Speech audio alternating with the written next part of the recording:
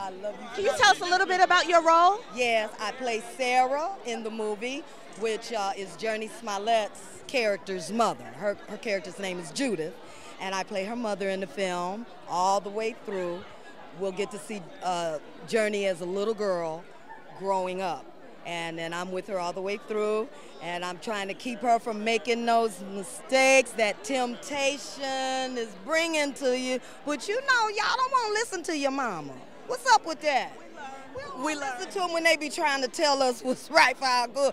And then we going to make these mistakes that we have to live with for our life. But there's some wonderful writing in the script. And I think when people watch the movie all the way through the end, it's going to be like a aha moment. A aha moment at the end. Excited. Also, love you on Belle's as well. Oh, Congratulations Thank you, for all that you're doing. Thank you so much. Can you let everybody know that you're on Behind the Mic? Behind the mic. Say your name. Tell us your name say you're on Behind the Mic. Hi, I'm Ella Joyce here in Atlanta, and I'm behind the mic.